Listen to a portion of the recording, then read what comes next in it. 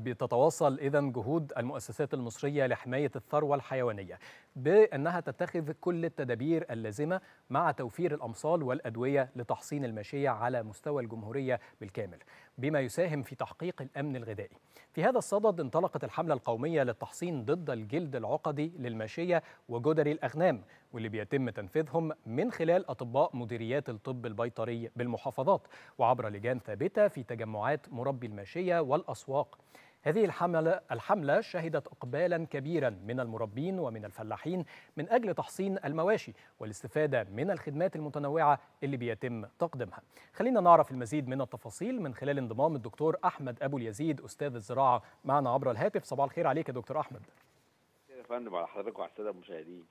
يا أهلا وسهلا منورنا يا دكتور أحمد. وخلينا في في في البداية نحب إن إحنا نعرف من حضرتك للغير المختصين آه، خطورة آه، هذه الأمراض على الماشية بنتحدث إذا عن الجلد الجلد العقدي آه، إذا لو كنت منطق صح وجدري الإغنام. صح. والحمى القلاعيه برضو أيضا. ودي أمراض بت- بتيجي يعني شبه موسمية. نعم. وإحنا دايما عشان يعني نحافظ على قوام الثروة خاصة بالانتاج الحيواني بمصر لأن إحنا عندنا قاعدة عريضة بتبلغ حوالي 2 و3 يعني من 10 مليون راس جاموس محلي وحوالي واحد وثلاثة من عشرة راس أبقار ومئتين ألف راس من الأبقار برضو المستوردة نعم. خاصة بإنتاج الألبان.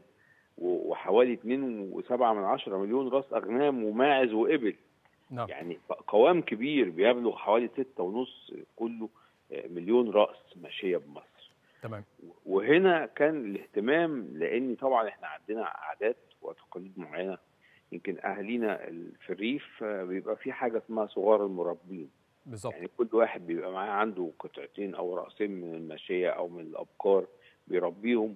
ودول بي- بيمثلوا قوام ثروة ليه آه، لأن هم دول اللي بيمشوا الحالة الاقتصادية بتاعته. وهم دول بعد كده اللي بيمدونا بالألبان آه، يعني زي ما. حضرتك تع- تعلم.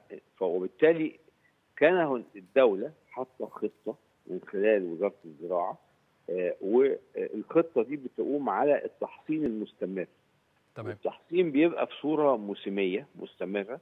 مش مرة واحدة في السنة عشان نحافظ على الكلام ده ضد الحمى القلاعية وضد زي ما حضرتك قلت الجلد العقدي.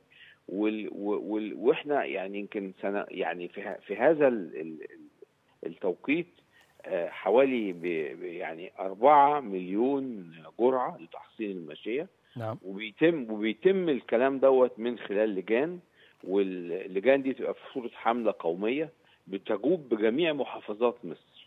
تمام. تشمل تحصين الأبقار والجاموس والأغنام والماعز آه، والكلام ده بيتم بالتعاون مع ال- ال- المربين اللي هم صغار المربين والمزارع وكمان في نفس الوقت وإحنا بنعمل العملية دي بنعمل حصر وترقيم وتسجيل عشان نبقى متتبعين ال- ال- التعداد بتاع الثروة الحيوانية عندنا نعم. والحالة بتاعتها.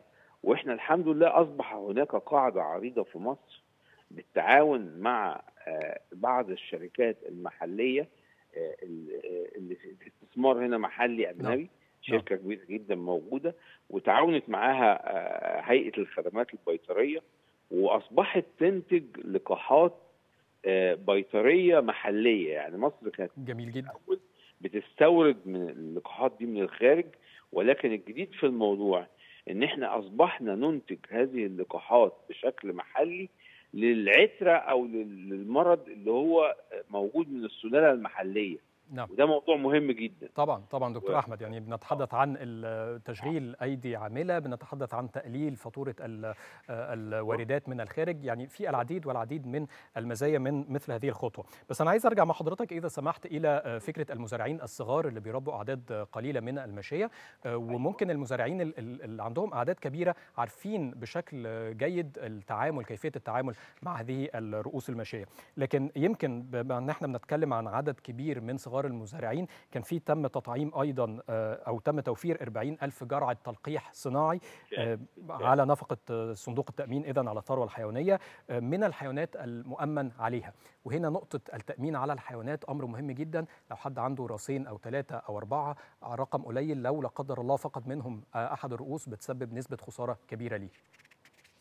بالفعل زي ما حضرتك تفضلت إحنا يعني أثناء هذه الحملة الخاصة بالتلقيح بنجوب بعملية توعية وتثقيف بأهمية التحصين وبأهمية إن هو يأمن على الماشيه اللي عنده من خلال الصندوق اللي موجود اللي هو الخاص بالتأمين على الماشيه وده صندوق موجود وده بيك يعني بيكفل ليه لا قدر الله لو حصل أي حاجة بيدفع له كامل الثمن بتاع اللي هي الرأس اللي موجودة اللي حصل فيها المشكلة. طبعا ده برضه حاجة مهمة جدا عشان يحافظ على القوام بتاع الثروة بتاعة الإنتاج الحيواني الخاصة بالأفراد وأهالينا في الريف. نعم وبتأتي في إطار اذا جهود الدولة المصرية يا دكتور أحمد في الحفاظ على الثروة الحيوانية تمام. تمام. وبالتالي الأمن الغذائي والأعداد بقى اللي عايزين إن هي نصل إلى أعداد أكبر وأكبر اذا من الماشيه الجيدة إن شاء الله واللي بتتوفر فيها عناصر الإنتاج الغزير أيضا بنشكر حضرتك جزيل الشكر يا دكتور أحمد الدكتور أحمد أبو اليزيد أستاذ الزراعة على وجودك معنا